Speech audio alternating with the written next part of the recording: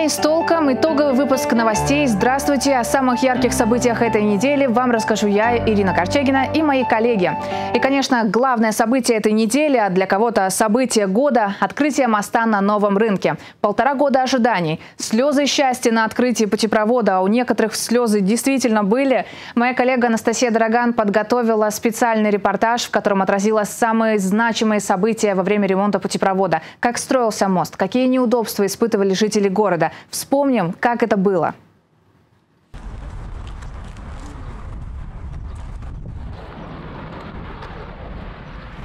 Мая 2022 Время, когда привычная жизнь барнаульцев изменилась. Весной прошлого года в краевой столице построили новые трамвайные кольца, изменили автобусные маршруты и создали новую транспортную артерию города.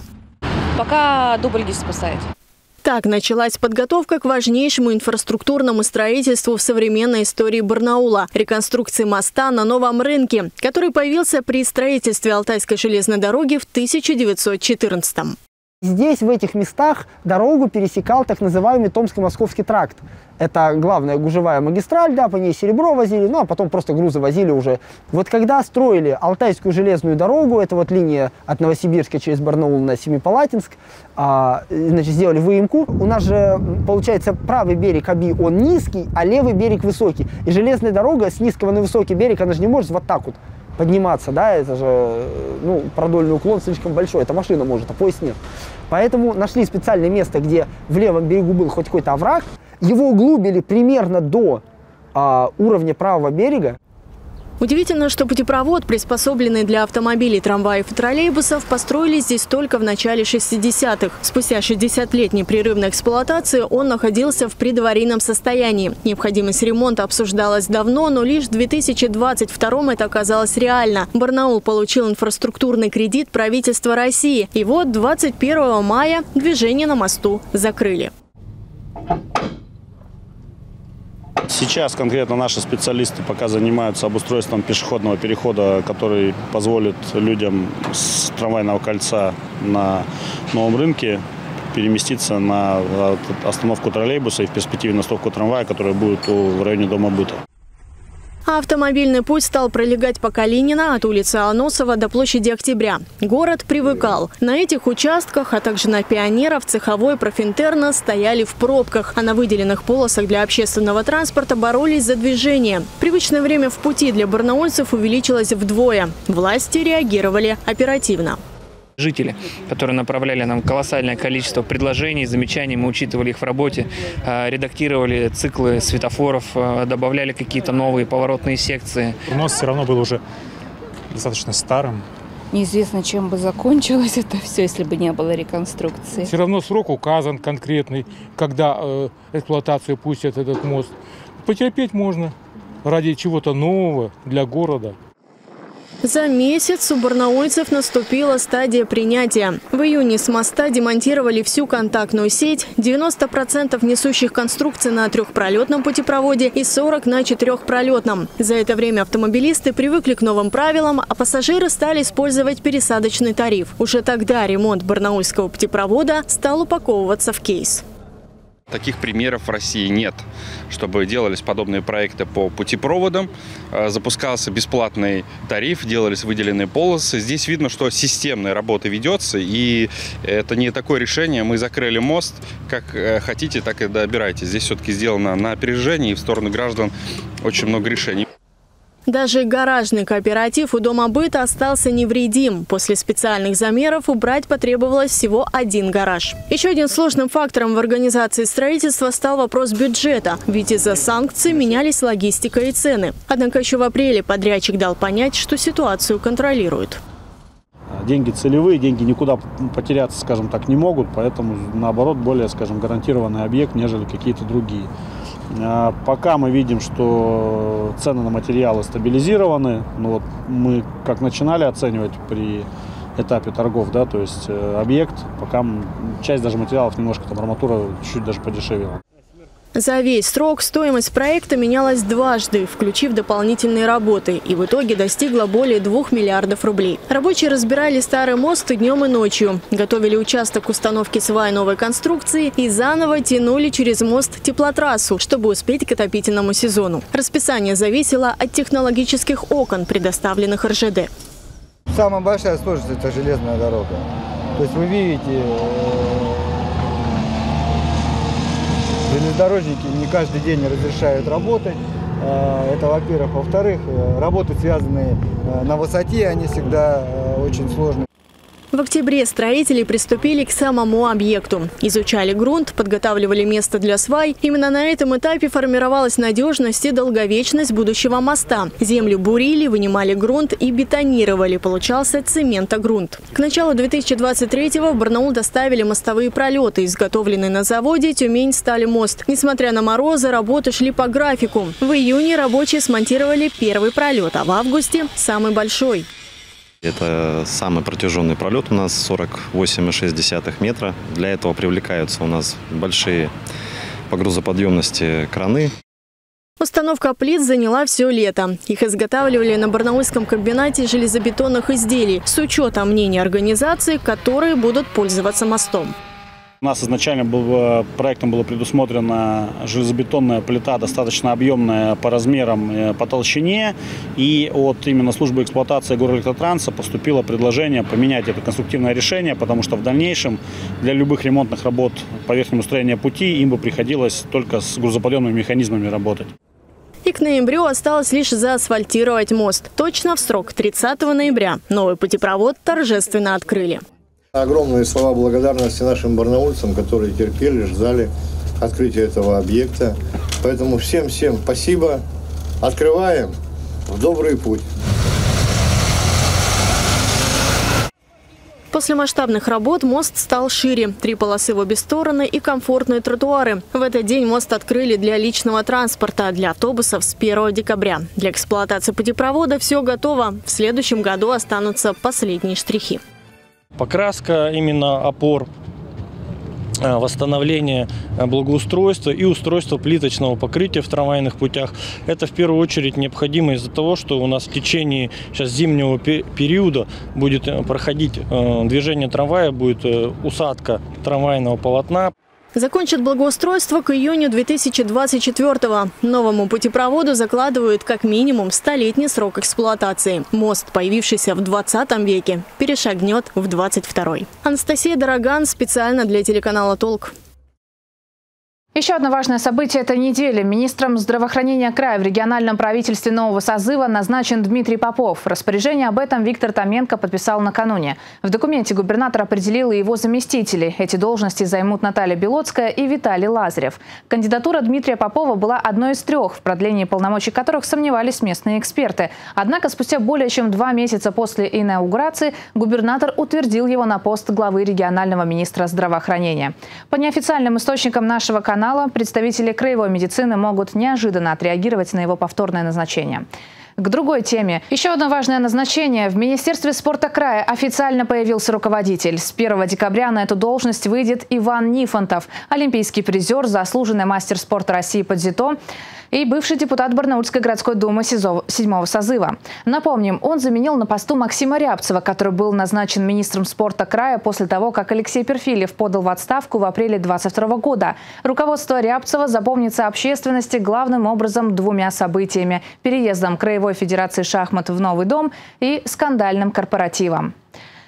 Около 650 человек собралось на этой неделе на митинге против создания мусороперерабатывающего комплекса у Павловска.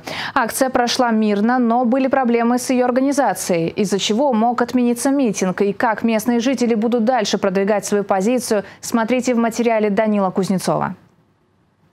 Стадион «Юность» в Павловске в эти выходные стал точкой притяжения жителей и правоохранителей со всего района. Однако никаких спортивных мероприятий здесь не проходило. Только митинг против создания мусороперерабатывающего комплекса вблизи райцентра. Организация подобного не политическая акция.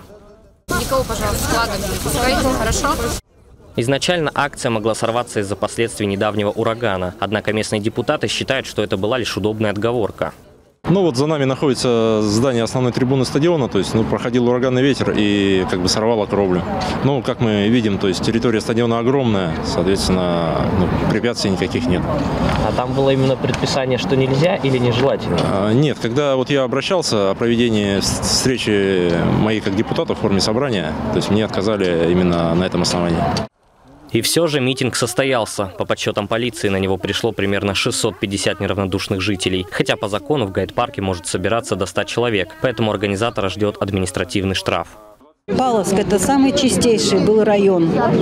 И нам обидно, что, я не могу говорить, что именно в нашем районе, в Павловске, хотят сделать мусороперерабатывающий комбинат, который не принесет никому, людям добра. Жила наверху, там эти запахи доставали. Представляете, если форточку не вовремя закрыл вечером, ночью, значит, ты будешь выдыхивать весь этот, весь этот, я не знаю, как его назвать, смрад мы неизвестно чем дышим. А представьте, это всего лишь вот то, что у нас уже сейчас имеется. В ходе митинга волонтеры собирали подписи, которые вскоре направят губернатору. Также была единогласно принята резолюция, в которой 10 пунктов. Положения в бумаге коснулись не только отчетности депутатов и приостановки действий касательно создания комплекса. Были серьезно затронуты вопросы земли и экспертизы. Спасибо вам, дорогие павловчане, что вы так неравнодушны. Если мы будем вместе, мы победим. Теперь слово остается за местными депутатами. Если большинство проголосует за переведение земли в другую категорию использования, то сложностей для постройки комплекса практически не будет, считает политолог Константин Лукин. Тем более рычаги давления есть. Ну, различные предложения, там, давай, ты, ты за нас проголосуешь здесь, мы там тебе э, сделаем на твоем участке чего-то, на твоем округе. Ты мне, я тебе, да, это, ну, как бы, это все в рамках, там, перераспределения бюджета, например. Если митинг не поможет, местные депутаты намерены идти дальше и создавать референдум. До осуществления этого плана активисты в Алтайском крае ни разу не доходили из-за проблем с документацией, утверждают эксперты. Однако попытка не пытка. Нет мусорному заводу! Нет мусорному заводу! Нет мусорному заводу! Данил Кузнецов, Владислав Ковалев. День с толком. Бюджет края на 2024 год принят. На этой неделе парламентарии утвердили главный финансовый документ региона большинством голосов. Одна из фракций воздержалась. Депутаты уже признают, что край ставит перед собой в следующем году большие обязательства. В чем это проявляется, узнавала Анастасия Дороган. Сегодня депутаты вернулись к первому чтению краевого бюджета на 2024 год. Документ скорректировали после дополнительных 6 миллиардов рублей с Федерацией. Итоговые строки – доходы 149 миллиардов, расходы 164. В некоторые сферы в следующем году федеральное поступление будет распределяться впервые. Это единая субвенция на достижение показателей государственной программы развития туризма 111 миллионов рублей – а также субсидии в целях софинансирования расходных обязательств, возникающих при реализации мероприятий по обеспечению детей с сахарным диабетом. Это на систему непрерывного мониторинга глюкозы общим объемом более 100 миллионов рублей, а также субвенции на приобретение беспилотных авиационных систем органами исполнительной власти в области лесных отношений в части мониторинга лесопожарной обстановки. Отметили депутаты и еще один рост собственных доходов. С 77 миллиардов этот показатель вырос до 89. Надеемся на свои силы, подчеркивали выступающие органы власти края берут перед собой амбициозные обязательства. Я скажу о том, что наши собственные доходы, мы их формируем в объеме 89 миллиардов рублей, они прирастают выше, чем на 14%. Отрасль, реальный сектор экономики формирует на сегодняшний день и рост инвестиций, и, соответственно, рост капитала, и, соответственно, рост поступления доходов в бюджет. Ко второму чтению фракции подготовили больше сотни поправок на сумму 20 миллиардов рублей. В законопроекте учли на 6. Они коснулись комфортной городской среды, покупки медтехники, повышения зарплат бюджетникам. В целом к этой сессии потяжелел дорожный фонд, бюджет КАИП и программы газификации. И хотя у оппозиции остались вопросы к окончательной редакции финансового документа края, многие фракции отнеслись с пониманием расходов на СВО. Нравится ли нам фракции ЛДПР э, фактически секвестированный бюджет? Нет, не нравится. Нравится ли фракции ЛДПР программа развития края по 2% в год? Да тоже не нравится. А понимаем ли мы, почему у нас э, бюджет такой и почему денег с федерального центра пришло ну, скажем так, меньше желаемых. Да, понимаем. Необходимо индексировать доплату пенсиям народным, заслуженным работникам, заслуги перед Отечеством, трудовые и боевые заслуги, полагающихся приемным родителям в месяц. Мы не можем проигнорировать вот это огромное количество граждан, которые были э, доходы которых будут не индексированы, либо недоиндексированы. Не поддержать бюджет в такое время, не боюсь сказать, равносильно помощи врагам нашего Отечества. КПРФ стала единственной фракцией, не поддержавшей бюджет. 15 депутатов воздержались. Это было главным вопросом сессии. Другое важное решение должно остановить геноцид пчел. Сегодня депутаты одобрили поправки, уточняющие процедуру обработки фермерами полей. Закон указывает четкие сроки и каналы оповещения и информацию, которую должны указывать аграрии. Каким способом будет проводиться обработка полей? Воздушным, наземным, Э, наименование препарата обязательно указывается. Указывается его дозировка, срок действия и срок изоляции пчел. Кроме того, сегодняшним решением у общественных наблюдателей, которые проверяют соблюдение прав человека в местах принудительного содержания, появилось краевое финансирование для оплаты бензина или транспорта или командировок за пределы края. В следующем году для них выделят 310 тысяч рублей. Анастасия Драган, Дмитрий Денисов. День с толком. Добиться компенсации за порчу имущества во время урагана вполне возможно. Как действовать жителям региона, чье имущество пострадало от разгула стихии? Об этом нашему телеканалу на этой неделе рассказал юрист. Напомним, 19 ноября горожане, в частности автомобилисты, пострадали от разгула стихии и до сих пор пытаются добиться денежных выплат с тех, на чьей территории произошло ЧП. С управляющих компаний, застройщиков и администрации города. Безусловно, погодные условия, и э, я думаю, что здесь э, причинители вреда, они будут э, достаточно внимательно к этому относиться, стараться упирать, представлять там различные справки из э, органов у нас, которые мониторят погодные условия и так далее. Но здесь, опять же, вопрос оценки суда, с одной стороны. С другой стороны, ну, у нас вывесок, например, тех же самых, да, или фасадов тысячи а, оторвались единицы. Ну, это, наверное, о чем-то говорит, наверное, о том, что они были ненадлежащим образом закреплены. И, ну, не такие уж это и ураганные были явления. И вот, э, ну, как бы из практики судебной на сегодняшний день даже не то, что уйти от ответственности со ссылкой на вот такого рода справки, а даже просто ее в какой-то степени уменьшить, ну, не так много и не так часто это происходит на самом деле. То есть это не цунами, не какое-то там э, наводнение там и так далее, да, какое-то э, действительно, которое носит форс-мажорный характер. Это, ну, такие достаточно жесткие природные явления, но между тем э, они должны ну, быть нивелированы теми организационными мероприятиями и какими-то действиями ответственных лиц и должны были быть предотвращены. Если же ответственные лица не идут навстречу и не решают вопрос с выплатами мирно, то пострадавший вправе обратиться в суд. А уж суд-то там точно разберется, чья же все-таки это зона ответственности. Но э, ситуация для э, управляющей компании, для застройщика, она несколько будет носить такой более э, тяжелый характер, потому что здесь уже выплаты будут в разы больше, чем э, человеку можно выплатить добровольно, вот на основании той оценки, которую проведут независимые, например, да, какие-то организации. К слову, сейчас решается вопрос о возмещении ущерба автомобилистам, чьи машины были припаркованы у медцентра на улице Партизанской. У здания обрушился фасад и повредил четыре автомобиля. Барнаульская медклиника готова возместить ущерб, несмотря на то, что, отмечает руководство, парковка не относится к территории медицинского центра, а находится со стороны городской улицы. Ежегодно специалисты выявляют в среднем 1700 случаев заражения болезнью иммунодефицита в Алтайском крае. Притом около 400 человек – это беременные женщины. За последние 11 месяцев одним из важнейших направлений работы Краевого спеццентра стала помощь инфицированным детям. Как следят за здоровьем беременных и их детьми и какие тенденции сейчас наблюдаются в этой болезни, расскажет Данил Кузнецов. И он уже отпил все наши сиропы. Правда. И уже кровушку сдал. И даже не заплакал. Нет, это не роддом, а краевой спидцентр. А это ребенок, рожденный от ВИЧ-инфицированной мамы. Однако переживать за него не стоит, ведь Мария ответственно подошла к беременности. Меня брали регулярно анализы, а, давали препараты, которые я принимала. Когда то есть, мы вступали в роды, я также получала терапию. Ребеночек после родов также получал терапию, то есть, чтобы не было заражения именно маленького.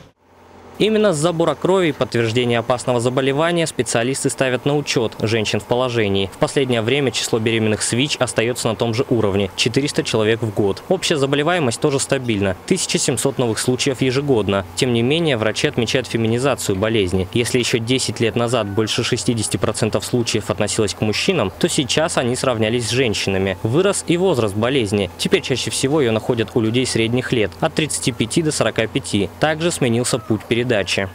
И э, по итогу вот прошедшего года и даже по предварительной информации текущего года мы видим, что абсолютным лидером среди э, пациентов, у которых вновь выставлен диагноз, это половой путь передачи. Он уже превышает 80%. И это несравнимо с тем, что было даже 10 лет назад, когда основной путь передачи был это э, путь за счет внутривенного употребления наркотиков. После подтверждения анализа кровь идет в лабораторию. Там с ее помощью проверяют, насколько хорошо функционируют внутренние органы. Исследование также показывает, какие лекарства нужно принимать, чтобы минимизировать риск передачи заболевания младенцу. Конечно, самый идеальный вариант, когда у нашей ВИЧ-инфицированной женщины беременность наступила уже на фоне терапии, на фоне неопределяемой вирусной нагрузки, то есть тогда, когда риск передачи сводится к минимуму. В иных случаях, если не принимать препараты или прервать их использование, то риск передачи вируса ребенку повышается. Однако таких людей немного, поэтому в Алтайском крае число зараженных новорожденных от ВИЧ-инфицированных составляет лишь 1%. Однако важно, чтобы после родов болезнь не передалась с молоком. Итак, рекомендации я тебе дала, как ты должна после родов там себя вести по э, вскармливанию ребенка, что грудное скармливание у нас исключено, а ребенок будет на искусственном вскармливании. Все дети наблюдаются у невролога и психолога. Бывают случаи, когда ребенок заражается уже после рождения, поэтому специалисты проверяют нервную систему и когнитивные способности. То есть мы активно сами выясняем, а, есть ли у ребенка особенность поражения нервной системы и в какой степени. Либо это просто задержка речевого развития, либо это задержка нервно-психического развития, если это ребенок э, маленький. Дети более старшего возраста, они практически все имеют у нас когнитивный дефицит. Он э, выявляется в небольшом снижении успеваемости в школе.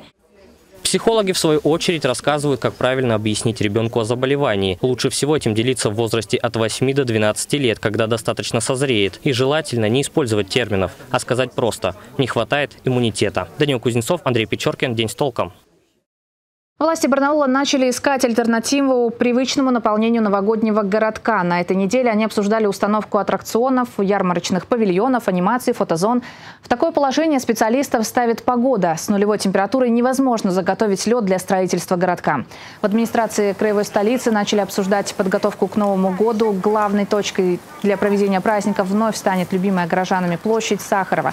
Там установят ели и украсят площадку гирляндами. Эти работы начнутся по графику, подчеркнули в администрации. Параллельно, в зависимости от погоды, определяется наполнение городка. Тем не менее, специалисты надеются на наступление настоящей зимы. Тогда на площади Сахарова точно появятся снежные Дед Мороз и Снегурочка, ледовые башни, барельефы и лабиринт. Юная художница Алла Кощеева из Барнаула провела творческую встречу. Девушка известна своим талантом. Несмотря на особенность рук, Алла пишет картины и вдохновляет других людей. Нашему телеканалу Алла знакома уже много лет. Мы приезжали к ней в гости, когда Алла была совсем ребенком. Сегодня девушка уже учится в колледже. Что изменилось в ее жизни, расскажем в следующем сюжете. Али Кощеевой 16 лет. Публике уже известно имя талантливой художницы и очень стойкой девочки, у которой от рождения на руках всего три пальчика. Вы все знаете то, что и видели меня, то, что я не такая, как все, я необычная девочка.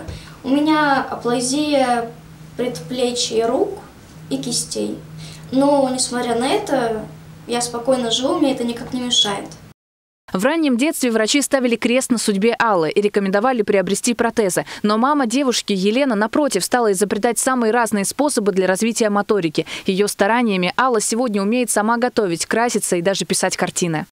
Мы когда гуляли по лесу, там по паркам, мы изучали кору этого дерева, листики у этого дерева, травку. Хочешь, да полежи на этой травке, выдерни ее, там листики поподбрасывай. Надо изучать, развивать вот эти пальчики. Она когда родилась, у пальчика они просто висели. А сейчас у нее полноценные, твердые, хорошие руки. Сегодня Алла уже не тот ребенок. Она уже учится на программиста на первом курсе. Девушка открыто рассказывает о своей жизни, делится опытом и даже устраивает такие творческие вечера. Очень много произошло отрицательных, так скажем, ситуаций в моей жизни, которые я вспоминаю с болью. Но я думаю, то, что я становлюсь что-то среднее между оптимистичным человеком и пессимистичным. Я становилась и становлюсь более спокойной. Я сама рисую. Я не хочу никому подражать. Я хочу быть такой, какая есть. Я хочу выражать только то, что я хочу, а не остальное. Нечего опускать руки, когда их нет, шутит мама Аллы. Подобные встречи они планируют проводить еще для всех, кто оказался в похожей ситуации. Ведь красивая и талантливая девушка живым примером доказывает, что все ограничения только в голове. Ирина Корчагина, Дарья Ерошина, Владислав Ковалев. День с толком. Что ж, такой мы запомним эту неделю. А я напоминаю, что для вас работает телефон нашей редакции 205-545. Звоните и рассказывайте о том, что вас волнует. Через несколько секунд узнаем, какой будет погода. Спонсор прогноза – компания «Эвалар». До встречи в эфире.